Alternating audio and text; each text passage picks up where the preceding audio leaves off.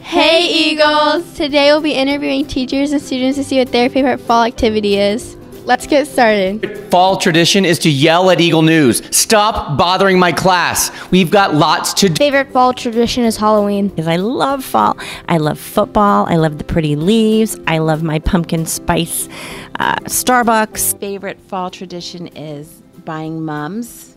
Fall tradition is Thanksgiving.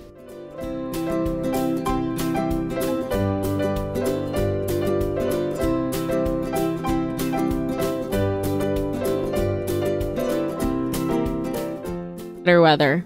My favorite fall tradition is good to go to my grandpa and grandma's house to have a big Thanksgiving dinner. Love wearing sweatshirts and shorts and making chili and then watching football. My favorite fall tradition is Thanksgiving. I think my favorite fall tradition has become the DC trip. My favorite fall tradition is to scare people. My favorite thing about fall is the weather. And I just love getting back to school and the enthusiasm and homecoming, and fall's just the best. Thanks, Eagles. Now back to the newsroom.